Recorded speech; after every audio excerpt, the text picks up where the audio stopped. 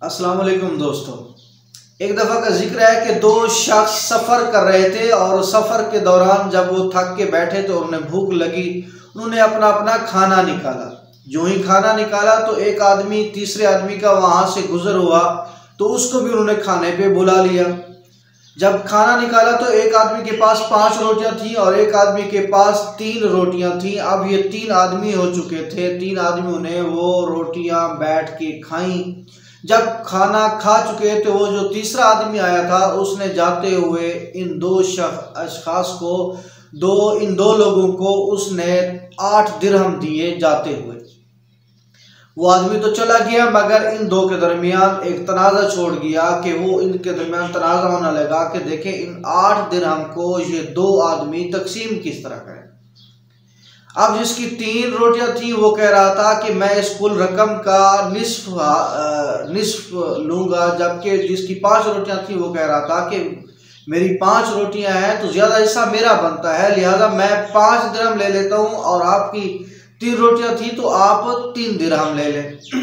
مگر وہ شخص بزید تھا کہ نہیں، وہ چار درہم ہی لے گا۔ اب جب ان کے درمیان تنازع بڑھا تو انہوں نے اپنے اس وقت کے عادل ترین انسان کو ڈھونڈنا شروع کیا تو یہ امیر کہرات امیر المومن علی ابن عبی طالب علیہ السلام کے پاس گئے۔ اور اپنا انہوں نے تنازع پیش کیا، اپنا مسئلہ پیش کیا کہ مولا ہمارا یہ مسئلہ ہے کہ ہم تین آدمی تھے اور دو آدمیوں کی روٹیاں تھیں، تین اس کی تھی پانچ اس کی تھیں۔ جاتے ہوئے اس شخص نے آٹھ درام دیے، اب مسئلہ یہ ہے کہ ہم اس کو تقسیم کرنا چاہتے ہیں تو انصاف کا تقاضا کیا ہے؟ ہم اس کو آپس میں تقسیم کس طرح کریں؟ امیر کیرات علیہ السلام نے کہا کہ آپ کس حد تک پیسے دوسرے دوست کو دینا چاہتے ہیں؟ تو اس نے کہا کہ مولا، میں نے کہا ہے، میری پانچ روٹیاں ہیں تو میں پانچ درہم رکھ لیتا ہوں۔ آپ کی تین روٹیاں تھیں، آپ تین درہم رکھ لیں۔ مگر یہ شخص نہیں مار رہا تو مولا نے اس دوسرے شخص سے کہا کہ اے شخص، اگر یہ تیرا دوست تجھے تین درہم دے رہا ہے تو لے لو، ورنہ تیرے حصے کا تو ایک درہم بنتا ہے۔ وہ شخص حیران اور پریشان ہوا اور کہا کہ مولا یہ آپ مجھے سمجھا دیں کہ میرے حصے کا ایک درہم کیسے بنتا ہے؟ تو امیر کیرات علیہ السلام نے اس کو حساب کر کے بتایا کہ امام علیہ السلام نے فرمایا کہ اے شخص، اگر ان پانچ اور تین روٹیوں کو کا کل کیا جائے تو آٹھ بنتی ہیں، اور اگر تمام آٹھ روٹیوں کے تین تین ٹکڑے کیے جائیں تو وہ چوبیس ٹکڑے بنتے ہیں۔ اور اگر ان چوبیس ٹکڑوں پہ وہ جو تین آدمی آپ لوگ کھانے والے تھے، ان پہ تقسیم کیا جائے تو ہر ایک کے حصے میں آٹھ ٹکڑے آتے ہیں۔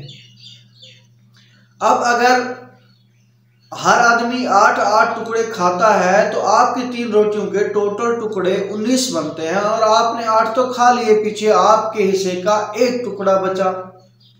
اور اس آدمی جس کی پانچ روٹیاں تھیں تو اس کی پندرہ ٹکڑے بنتے ہیں، اس نے آٹھ کھا لیے، سات اس کے بچے، سات اس کے ٹکڑے اور ایک تیرے حصے کا ٹکڑا۔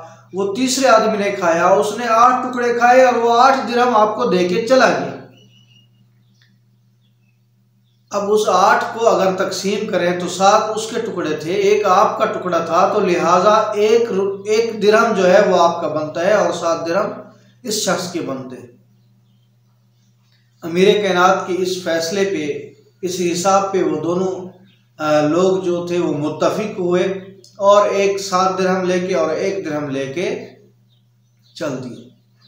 تو دوستو، جس معاشرے میں انصاف ہوتا ہے اور منصف جو انصاف کرنے والا ہے، اگر وہ انصاف کے مطابق فیصلہ کرتا ہے، تو یقیناً وہ معاشرہ ترقی بھی کرتا ہے۔ اور امام علیہ السلام کا ایک قول بھی ہے کہ جو حکومت ہے، وہ ظلم پہ تو قائم رہ سکتی ہے، مگر نا انصافی پہ قائم نہیں رہ سکتی۔ تو دعا ہے کہ اللہ تعالی ہمارے ملک کو بھی منصف شخص دے اور انصاف کا یہاں پہ بول بالا ہو، اس لیے کہ جس معاشرے میں انصاف نہیں ہے، وہاں پہ ترقی نہیں ہے۔ تو کوئی ایسا شخص دے جو امام علی علیہ السلام کی سیرت پہ چلتے ہوئے، علی کے کے مطابق، علی کی تعلیمات کے مطابق ہمارے فیصلے کرے اور انصاف کا بول بالا ہو۔ اللہ آپ کا حامی اللہ سے